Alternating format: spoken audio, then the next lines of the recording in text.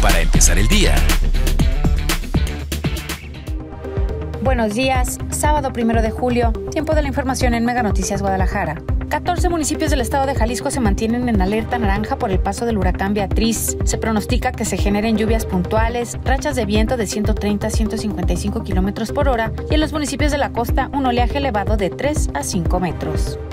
6.930 vehículos han sido sancionados por no acudir a la verificación vehicular. Así lo informó la SEMADET. Desde que comenzó el operativo el 1 de marzo hasta el 25 de junio, informan que hay 926 sanciones a transporte público.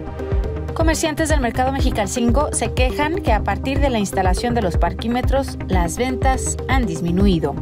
Choferes de plataforma Uber y Didi podrán dar servicio con vehículos hasta con 10 años de antigüedad, siempre y cuando sigan las normas de calidad. Así lo informó la diputada de la Comisión de Movilidad, Mónica Magaña, junto con el secretario de Transporte, Diego Monraz.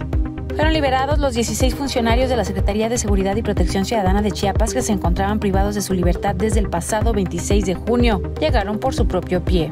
Síguenos en redes sociales como Mega Noticias GDL y toda la información en meganoticias.mx.